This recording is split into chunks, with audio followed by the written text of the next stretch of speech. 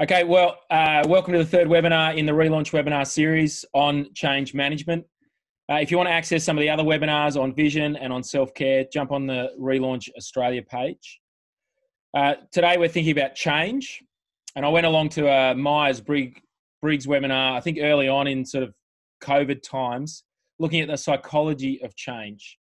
Uh, they had a, a, really helpful diagram uh, in that webinar that that looked at how people reacted to change. You know, the, the expectation of sort of a, a linear a linear line is actually not really the reality. It actually takes a lot longer for people to uh, respond, to get on board, and people's experiences of change are a lot like a roller coaster. You know, going up and down. And the role of the leader, uh, the role that you have as as church leaders, is to is to set vision, to build culture, to develop people. Uh, this is what uh, Kotter, who's written, I reckon, an excellent book on change and kind of the seminal work on it, says about why leaders fail in change projects. He says this he says they overestimate how much they can force big changes in an organization. They underestimate how hard it is to drive people out of their comfort zones. They don't recognize how their actions can inadvertently reinforce the status quo. They lack patience. Uh, enough with the preliminaries. Let's get on with it, they say. They become paralyzed by the downside possibilities associated with reducing complacency. People become defensive, morale and short term results slip. Or even worse, people confuse urgency with anxiety, and by driving up the ladder, they push people even deeper into their foxholes and create even more resistance to change. Uh, as I said, I think it's the, the leading book on it. I think it's a really helpful book to dive in on. And helping us today think about this uh, is is uh, Greg Lee. Uh, Greg's a senior pastor from Hunter Bible Church, which is in uh, Newcastle, just a few hours north of Sydney. It's a city in its own right, 400, you know, 300,000 people or 400,000 people, depending on how you uh, how you you look at it and understand it. Uh, welcome to the webinar today, Greg. Thank you. Yes. Now, today, what we're hoping to do is provide you with some resources so that you can go away and, and do a deep dive yourself as I said, have a number of breakouts as well so that we can get you talking with each other. I think that's a really helpful aspect of these webinars. We're going to split it up into two sections. How do you actually manage change? And Greg's going to talk about two different types of change that, that he sees in church leadership. And then uh, there'll be opportunity, as I said, for questions. Then we'll think about you and change.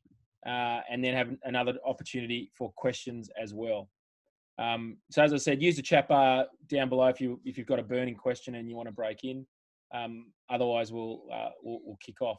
So just before Greg, um, just before I get you to jump into a breakout, I uh, just wanted to show you some resources. Uh, you've probably seen some of these things, but I just want to point out a few helpful things about each of these resources, just so you can probably use them and experience them um, better. As I said, uh, John Kotter's book on leading change. Uh, it's probably the best book out there. Uh, his eight steps have been used, you know, by everyone. Um, you know, so create a sense of urgency, build a guiding coalition, form a strategic vision, enlist a volunteer army, enable, generate, sustain acceleration by getting sort of, uh, you know, quick wins, and then institute change by having structures. It's a really useful book to help you see all the elements and processes to do um, to do with change. And I sent you a link uh, in the registration of this to his updated sort of version of this book as well, which I think really brings in team, uh, the team's aspect of leading change, which I think is so important for uh, church leaders to be uh, understanding. I've found, you know, the team pastoring or, you know, Paul's vision of having fellow workers, uh, you know, really vital, I think, to, to leading not only change, but just to leading church. The, uh, the second book is a book by Tom, Tom Rainer, uh, Tom uh, is, a, I guess, a leading church consultant, writer, researcher on church stuff from the States. It's called Who Moved My Pulpit. Uh, it's basically the story of Derek, you know, the pastor of a, a revitalizing uh, church. He, I guess, uh, turns the eight principles on it, you know, on its head and gives sort of a ministry framework for them. What I find it, found it most helpful about this book uh, is the, the, the call to pray. Um, I, I, think this is this is neglected by us in in change processes, and uh, and I think we ne- you know we need to we need to be sitting sitting under God's word and and coming before Him in prayer. So I just think it's a helpful reminder there. The other aspect of this book that's helpful is he talks about the different people you experience in church life in a change management process. And so I think I think uh, that's a helpful book just to or helpful chapter to read just to sort of get a sense of who am I going to face as I lead sort of any change in church life. So to understand how people are going to respond, particularly as you pastor them through this change process. And then the last aspect of the book I think is helpful is this the focus or the, the movement of churches towards an inward focus rather than outward focus. And so again, chapter six is really helpful in, in sort of getting you to help, you know, reorient your church to having an out an outward focus. Now the last book that I want to refer to is is the Vine Project. Um, really, the Vine Project is all about you know reshaping your ministry culture around disciple making, and in that, um, Colin Marshall and Tony Payne have these five phases. Just want to highlight. I think the key one, the key one they talk about there is is phase two, um, your own personal reform. So that's a really good chapter to read. Um, I think Paul's model of ministry was that he was a, um, a, a model to the people that he that he ministered to it was a model that he passed on to those that he worked alongside with as well. You know, he regularly called to attention their behaviour and their model as well as he as he tried to get change. So I think that's a really good book to dip into and and kind of put the heat under yourself for how you need to lead change, you know, yourself and actually model it um, to the rest of your congregations. It talks. Uh, they talk about your convictions penetrating the culture of your own life. Okay, so just just sort of setting the scene. There's some resources, and I'll I'll follow that up, uh, you know, in an email just so you can you can see those resources as well. Now, I just want to move you guys into um, our first breakout, um, and I want you to consider this question. And I'll just give you I'll give you five minutes um, five minutes to think about it. What's one area at church you think needs to change, and what's stopping you uh, from doing it? So, what's one area that needs to change? What's stopping you from doing it. I'm just going to put you in some random groups. Um, so I'll stop sharing my screen and uh, and I'll let you uh, jump in.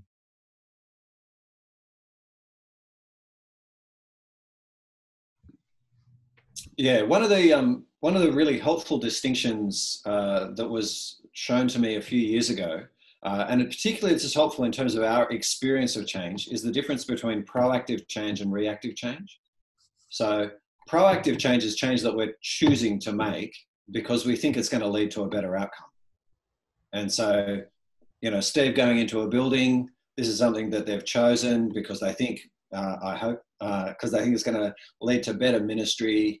Um, and it often, that proactive change, there's a big cost to it because it involves a lot of energy. You've got to win people to it and so on. But it feels very positive. Our emotions going into it feel incredibly positive because we feel like we're moving to a better place. Reactive change, though, is the change that we don't want to make, we're being forced to make. And so you can imagine the, the crisis situation of sickness in a really key leader.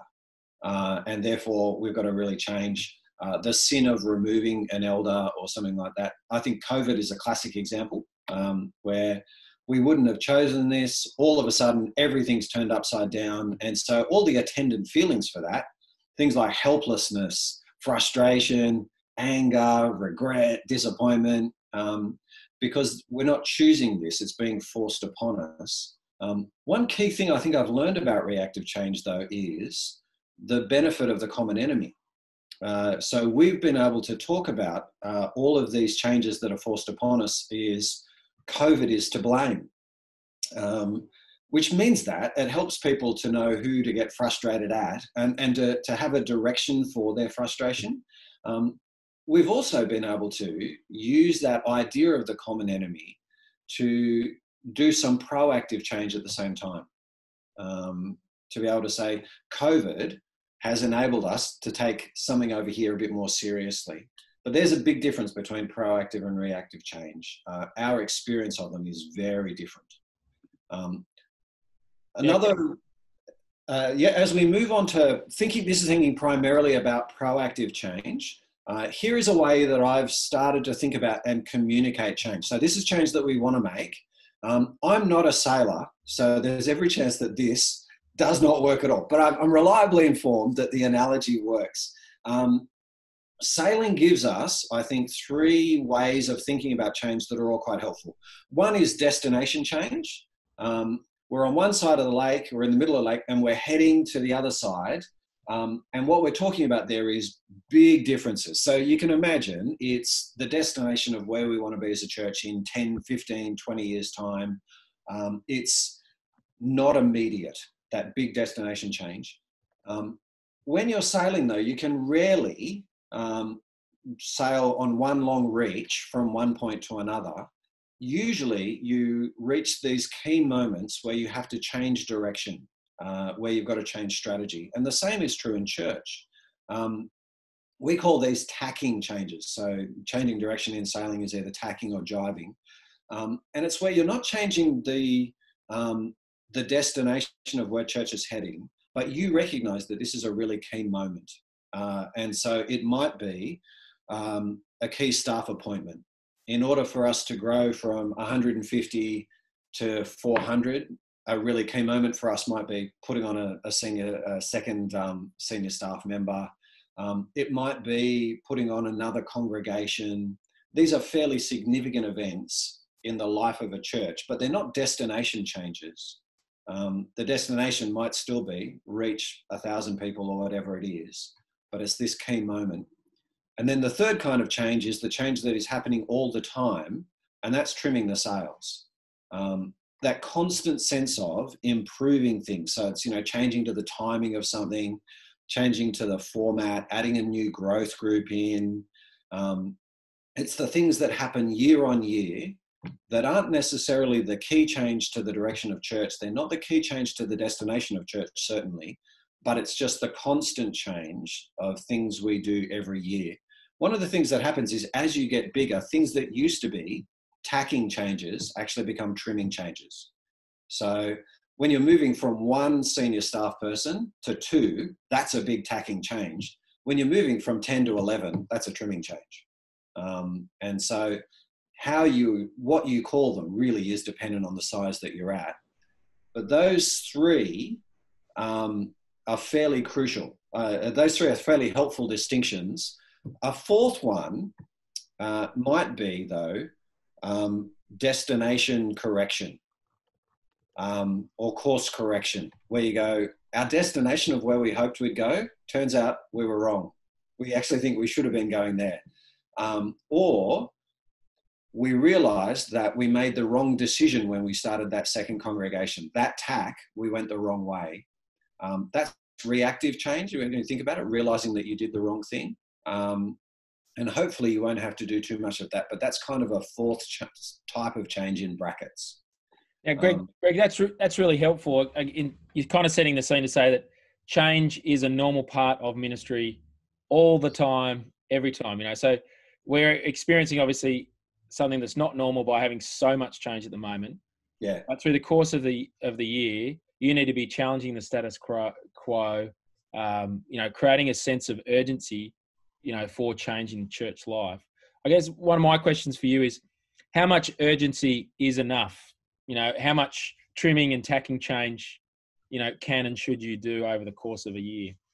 Um, that, I think that depends on a bunch of things. It can depend on the age of the church, the size of the church, the amount of trust that's in the leader, and also the scope of the change. So when you think about it, you can make changes in your youth group, your mission team, and um, your growth group team all at exactly the same time because there are different people in them. And you're the only one feeling the cumulative effect of the change. Mm. Um, and so you can make three quite big changes all at the same time if the people aren't common. Um, whereas it's very difficult to make three church wide changes. And so the question of how much change um, is enough or too much, I think depends on some of those variables of who is involved, how you're perceived, how significant the change is, is a direction change, and so on. Um, but your point about constant change is true. I think um, as people join our church, we do warn them that we're always trying to do things better uh, and that things will change around them uh, and that uh, cha- there's this inevitability to it. And we kind of catch it in terms of change is a really good thing in the Christian life, isn't it? Jesus mm. is moving us from immaturity to maturity, and he's moving his church from immaturity to maturity. And we also catch in terms of love. We want to love people better. Um, and what that means is we're always looking for what is the way that is most loving to do it. And we're going to change whenever we can spot a new way. So the, the way you explain it can make change easier there. Now, Greg, you talked about destination change and managing destination change. Yeah. Um, uh, how, um, yeah, how what do people need to be thinking about in that course? Because I think COVID's given us the opportunity, you know, to think about the big picture of, you know, where do we want to go, and actually ask that question: Is is that destination that we've been aiming for the right destination? So, if a church leader's thinking, no, actually, the where we want to go is very different now. How do you manage that destination change? Yep. So we're going to jump over trimming change. Is that right? Yeah, I think so. Just yeah, good. Yeah, that's fine. Um, yeah, so managing the, the change in the direction of your whole church, obviously, this is a really disruptive event, isn't it? Um, and this is the sort of thing that, that people will get very anxious about, um, especially if you're new, you know, if you're the one coming in and you're making these changes, or if they've been involved for a long time, there's a high degree of stability. So managing destination change is definitely the most disruptive thing. Um, we tend to think about it in, in terms of the people versus the leader. So um, thinking about the people involved um, and the leader involved, um, yeah, Kubler Ross actually do have a really helpful way of describing people's emotional response to change. Um, I remember reading Larry Osborne's book, uh, Sticky Teams, where he talked about how he tended to over spiritualize people's responses. So when people were a bit negative to change, he immediately assumed it's because they were hard hearted. And then he realized one day it's actually just because they're human. Um, and that as human beings, we do tend to respond to change uh, in different ways. And so I found this actually, the, the Kubler Ross curve there, very accurate um, for big change. People do respond with shock. Um, they, they, they, go into denial. No, we don't need to do this. That's not going to happen. The frustration, depression, and then there's a slow move out of it. The big take home of this graph for me has always been um, I am further along the curve than the rest of my church and I need to not expect them to be at decision and integration when really they're back at shock. Um, I've got to I've got to go back six months to my own experience in my own experience and walk through with them.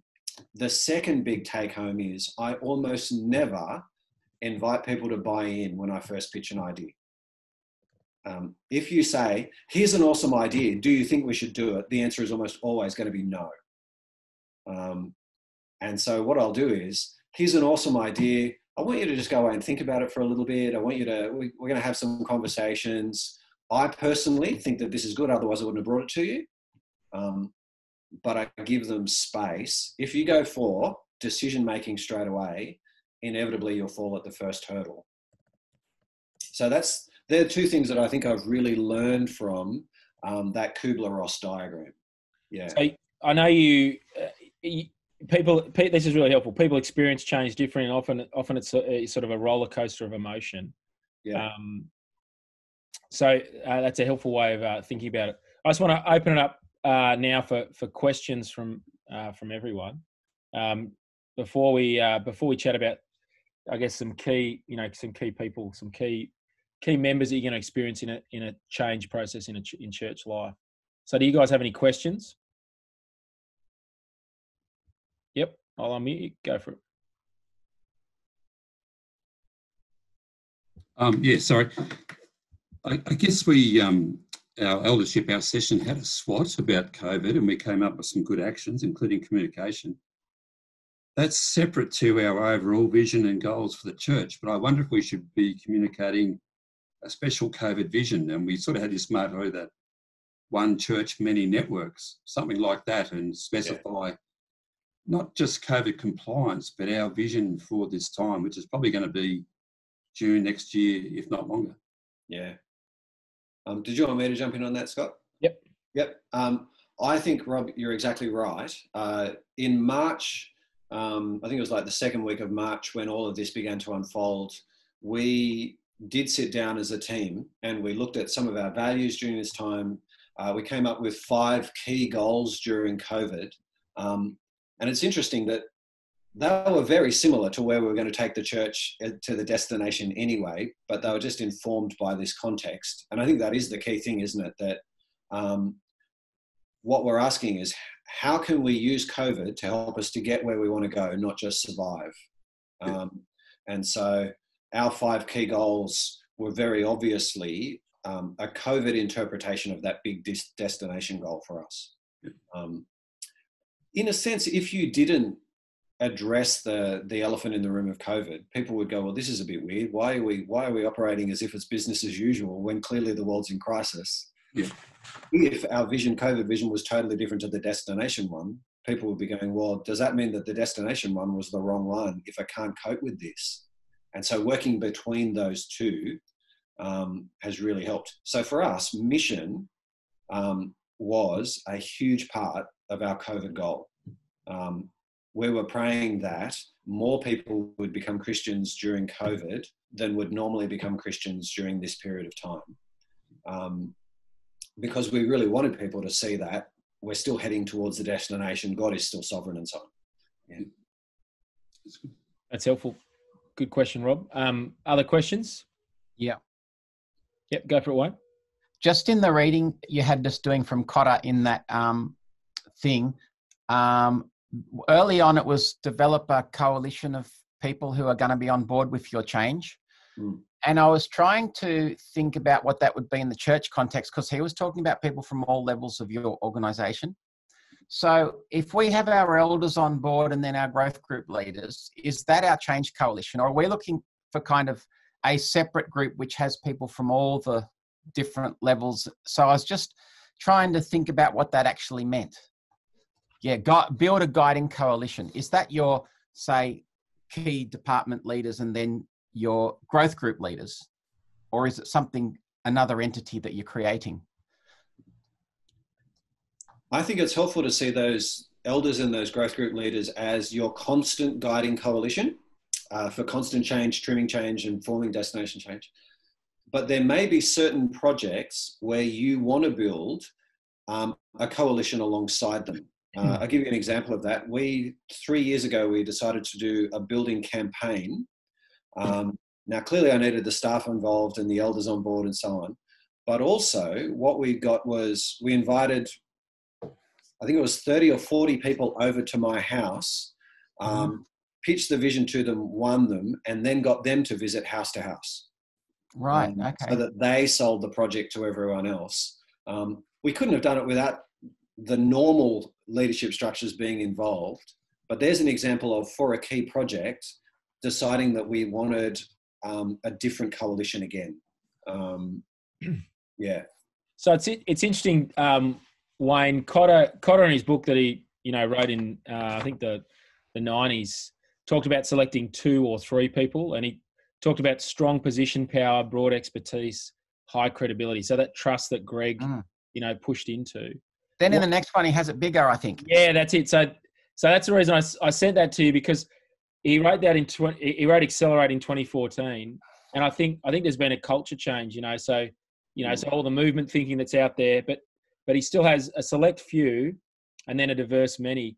And so I know I know a number of churches who have used this moment to uh, talk about reopening and restarting churches as a church plant. You know, we, we want want to get people in the launch team, um, and and what that's done is it's given the opportunity for for other leaders to sort of bubble up and other people who you know i guess the early adopters in your church to mm. to get on board and so i think if you just if you just look with eyes at you know your growth group leaders or your existing leaders then i think there's an op you've lost the opportunity to to find you know to find others so mm. i think the the key part you know finding this this this guiding coalition is having eyes to see you know who's excited about this and who has those management or those leadership skills or is able to sort of cast that vision um, yeah. you know for me i think in church world as well we're very conscious of um, the difference between soft and hard power so you've got your elders and your staff who have hard power um, because they've been given a role but then there are people in your congregation who are incredibly influential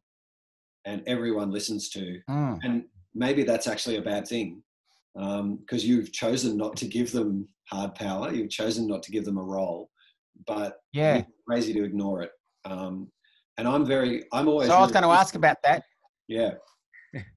Yeah. We've got people in church who have a big influence, but they're slightly left of center. And so you haven't got them growth group leading. And I'm thinking, do they form part of our coalition because it would be great to have them on board?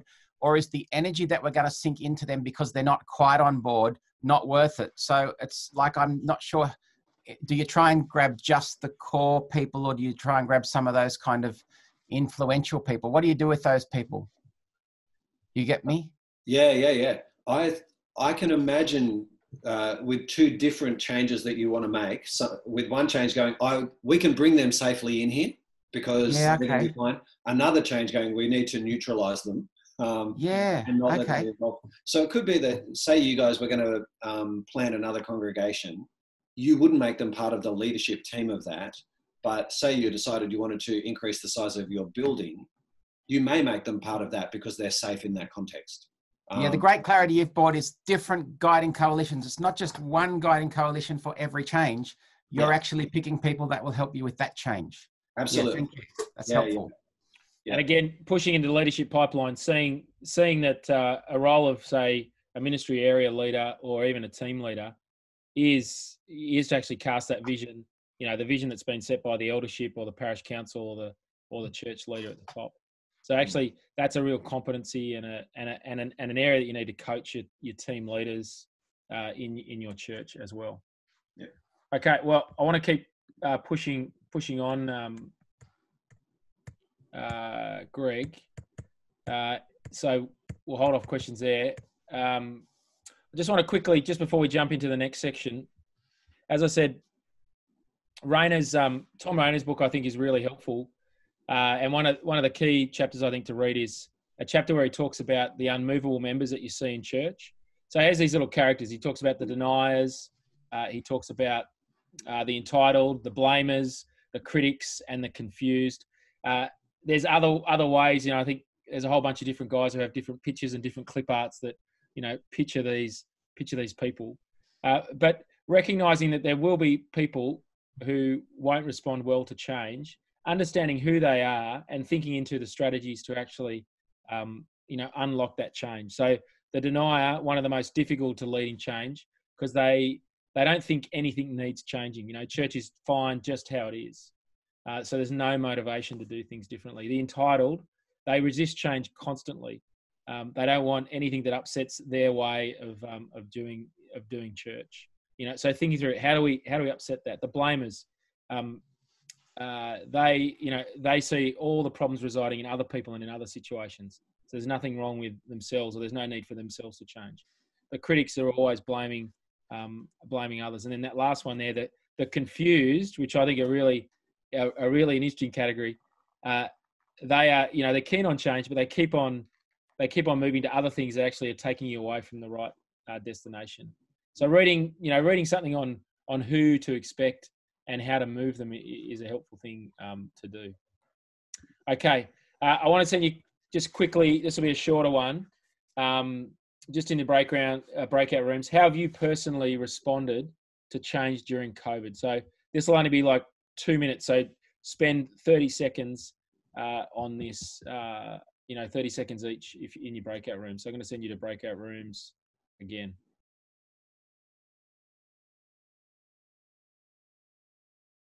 We're going to talk um, about the leader and change. So just keep keep fresh that breakout. And uh, Greg, what are what are two or three things that you need to think about as a leader with change? Yep. So I think uh, a key idea here is we naturally think that an idea will stand or fall based on the quality of the idea. Um, but we've already seen that an idea can stand or fall based on the, people who we're pitching it to. Um, I think there are three things about you as a leader um, that will affect whether or not the idea will stand or fall. Um, one is your personality type. I think it really is worth knowing um, knowing your personality well. And I think Myers Briggs, DISC, all of those things, the helpful thing about them is they just give you a, a sense of the kind of personality you are. So, do you love change? Um, uh, are you fairly direct, command and control? Are you a persuader and influencer? Those things. Um, knowing how your personality is going to affect this change is really important. I think the second thing is knowing the skills and the strength that you naturally rely on. Um, so I'm naturally a communicator, I'm naturally gregarious, but I'm not a planner. So I need to build my change management around that. Um, this is, I think, a, a helpful um, graph, the one that's on the screen now leadership um, versus management. And so if you're generally that kind of high leadership, um, low management leader, um, then you're going to be pitching big term results, but you're going to have very little in the way of an idea of how to get there if you're a management as opposed to a leadership person, you're going to be very big on um, the process that we've got. We know what tomorrow looks like, but we're going to struggle to make the 10 year plan. Um, recognizing your skills there means that you can pitch it uh, in a way that's most likely to succeed and give yourself the right job. To be honest, though, I think a really key question that almost we almost never ask is, what role has everyone else cast me in? Um, there's how you see yourself, but then there is the role that your church has put you in. So are you the new guy? If you if you come in as the new guy, that's how everyone sees you, and you try and make big changes, you're going to fail. Um, are you the hothead, the guy who just pushes everything through? Do they see you as the steady hand, the guy who's going to keep everything ticking along, but he's probably not going to be able to lead us through anything big? Do they see you as the flighty visionary, the one who'll never really land on anything? Um, how do they see you and what will they allow you to do? Um, so, for instance, a Presbyterian context, if they see you as the, um, the first among many, and they really have this strong eldership view that you're not the senior pastor, and you come in pitching big vision and big change without a recognition of that, then it's going to fall flat, isn't it? Because they just haven't seen you in that role um, it really is worth asking yourself quite humbly how do they see me? There are three things on the leader um, personality, skills, and the role. Now, we've got time for probably one question there. So I don't know if anyone wants to just quickly interact with Greg, push back on him, tell him that his understanding Presbyterian governance is, you know, all over the place. I realise that they're often very different. no, it is. It is helpful to understand your governance model. I think that's really yeah. Good. Okay, um, Greg, what I want to what I want to want you to push into now is um, is sort of your reflections on Kotter's eight step change model because it it really is the you know it's the seminal work on it. How have you interacted with it? What are your key uh, key reflections? Yeah, I, yeah, I would say um, buy this book, read it, digest it. Um, the two things about it that I would really say is one, it's intuitively how mm. people work. So we discovered the Kotter book after we'd made an enormous change to our church um, and went back and read it and found that by being thoughtful and prayerful and all those things, we'd basically followed his, his model. And that's a really good thing. It shows you that intuitively it works. Um, the second thing that I would add to it though is it's not it's broadly linear, but not entirely linear. You're always creating a climate for change. You're always implementing change. It's not, they're not discrete steps. Um, the third thing I'd say is culture has to be thought of alongside this. The culture that you've built in your church and that already exists um, kind of affects everything that Kotter does, but it doesn't get talked about as much. I think, um, and I, I think uh, just your second point on it's not linear. I think that's where you know that's where seeing it as a circle diagram rather than this sort of stepped process. Yeah. yeah. Um, you know, helps. I guess helps the it helps the non or the, it helps the process driven leader yeah. realize that it's not okay. I've done one. I've got my created my sense of urgency. Now I go to step two. You're yeah. constantly moving in in and out of these things, which is really helpful for the creating short term wins yeah. of um, you so, know step six.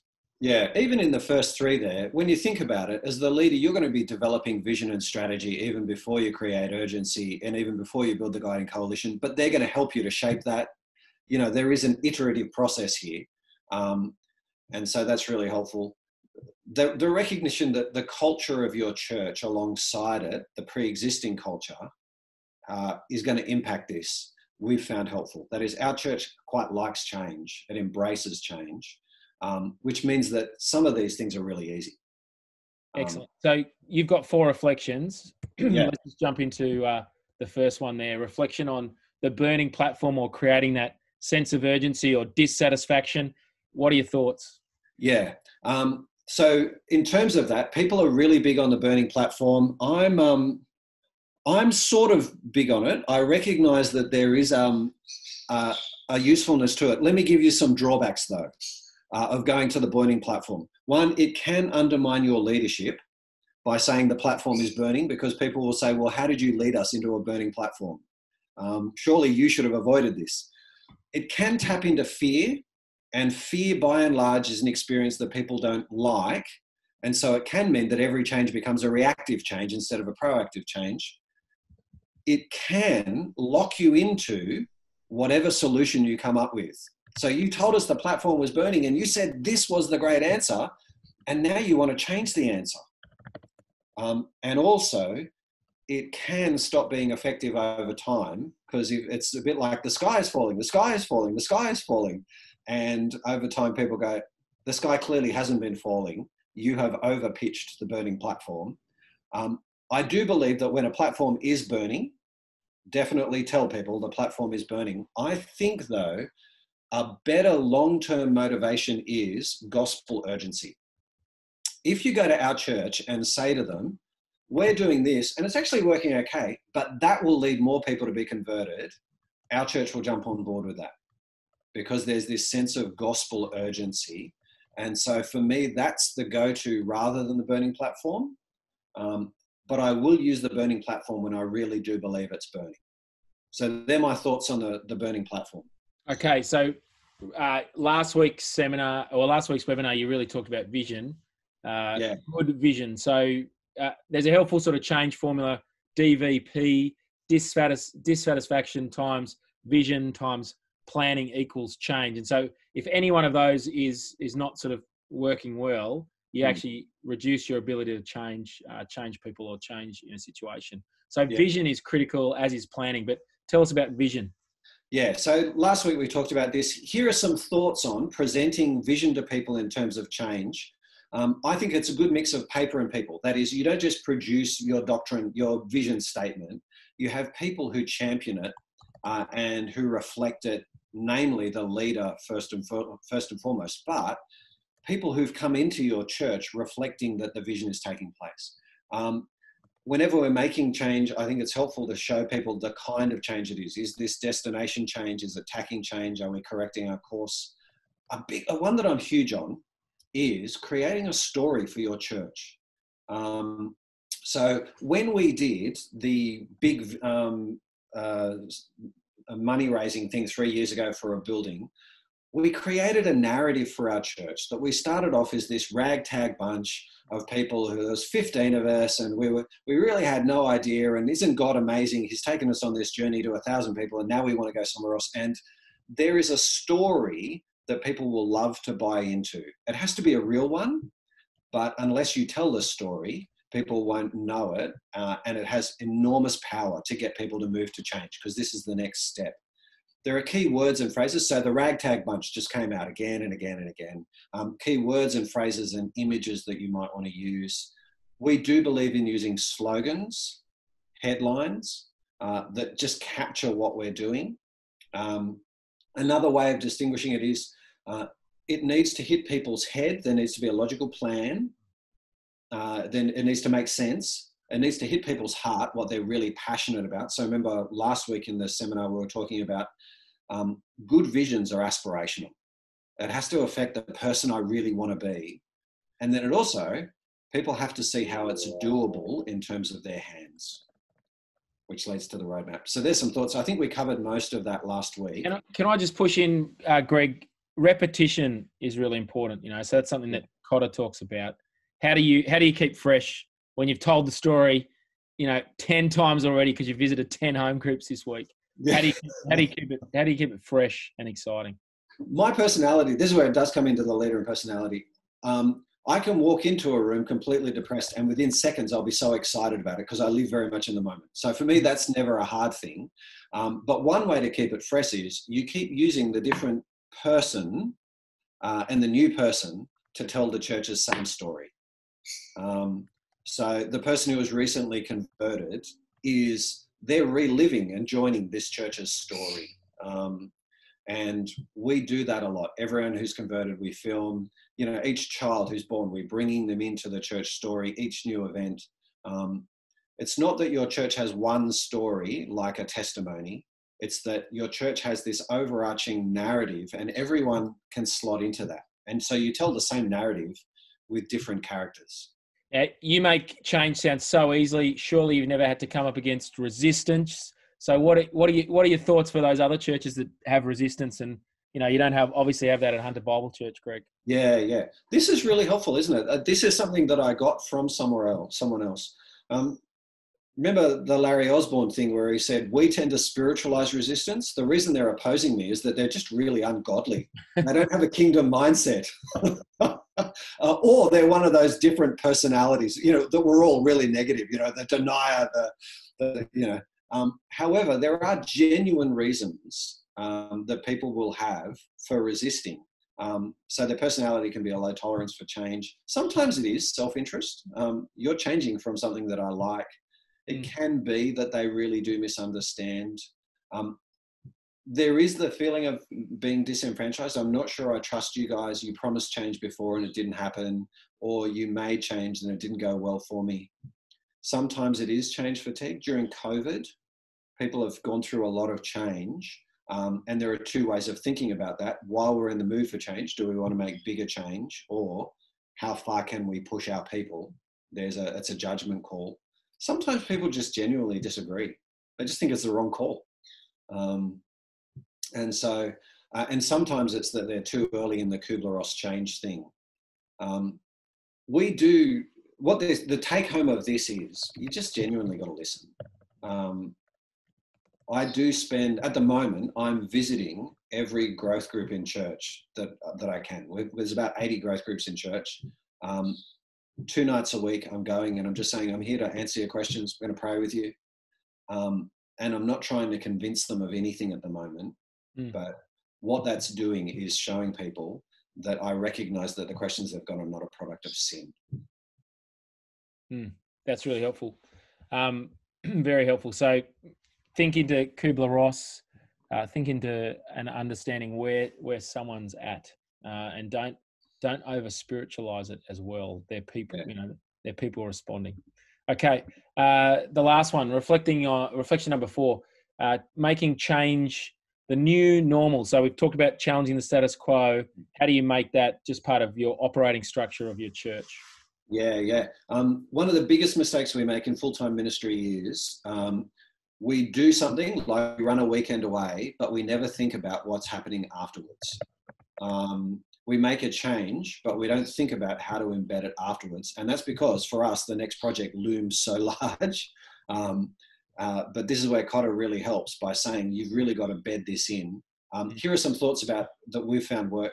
Keeping on celebrating it um, and saying, wow, this really worked, didn't it? Look, um, more people have joined church. Our growth groups have gotten, our growth group leaders are better trained, all of those different things. So pointing back and celebrating it um, showing how it contributes to that destination. We are one step closer now to reaching 30,000 people for Christ in our region or whatever it is.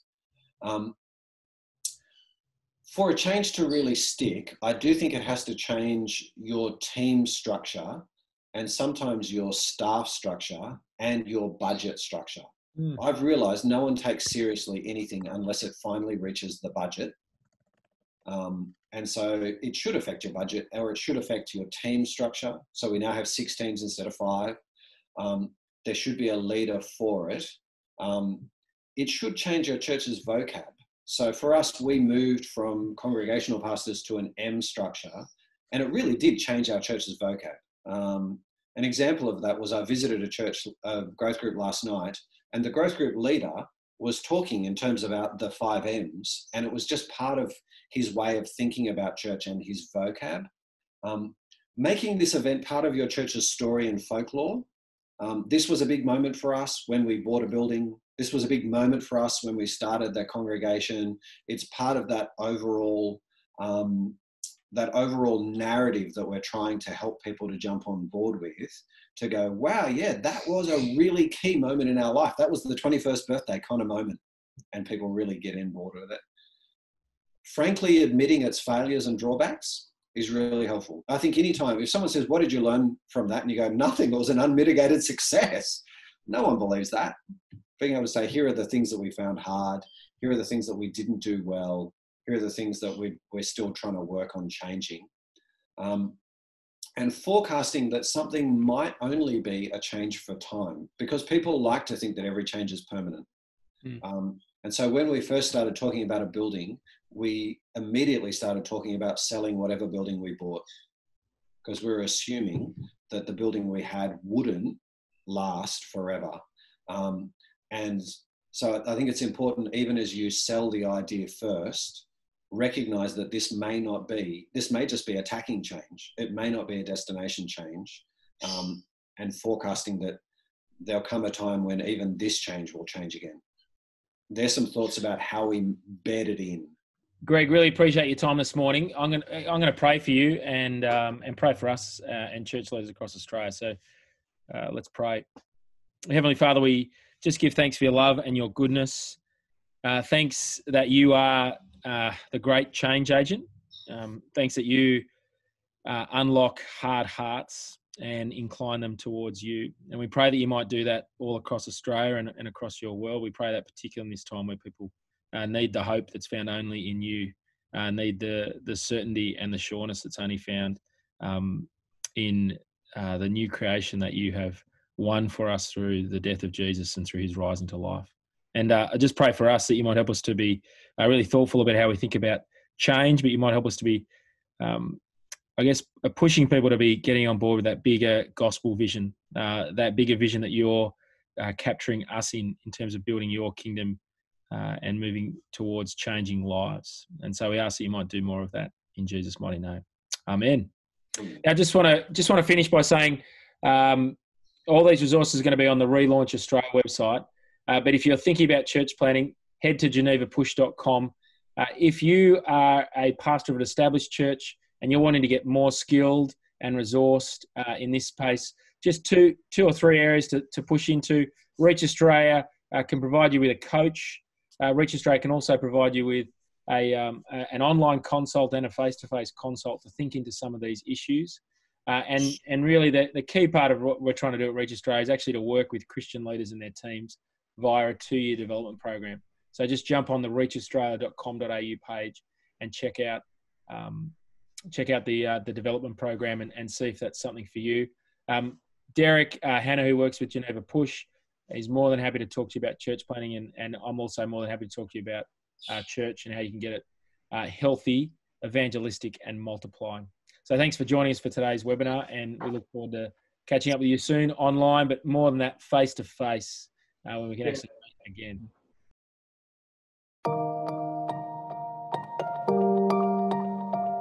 The National Church Life Survey tells us that most Australians don't even know a Christian. So, to reach this country, we have some work to do. We're living in an increasingly secular age where the number of Australians attending church each week is less than 10%. And the number of people ticking no religion on the census is steadily on the rise. The church is God's vehicle to advance the gospel and grow believers to bring the message of salvation to the world. New churches are five times better than established churches at reaching people who don't regularly attend church. People are lost without Jesus. The best way to reach people is to plant new churches. New churches reach new people. A third of the average church plant is made up of people who've never been part of a church. That's why Geneva are committed to planting hundreds of churches across Australia. We're a non denominational, theologically driven Australian network. Geneva Push aims to inspire, equip, and unleash a new generation of church planters for the hard work of evangelising churches into existence across Australia. With God's strength, we're inspiring men and women with the vision of establishing healthy church planting churches. And aiming to recruit thousands of planters and team members to reach the millions of lost people across our country. We're equipping church planters by offering clear, effective, and rigorous assessment, ensuring the people sent out and their plans are the best suited for building healthy, evangelistic churches. We're unleashing a network of generous church planters and strengthening them by developing a peer network, effective coaching, and quality Australian resources. You can be part of this vision. You can partner with us by starting your own church planting journey, by sending out a church plant, by giving to the work of the network to help us do more, or by bringing the needs of the network before God in prayer. Join us on the front line as we spread the gospel to a nation that desperately needs to know God. By establishing new churches, churches that will plant more churches. For the glory of His name.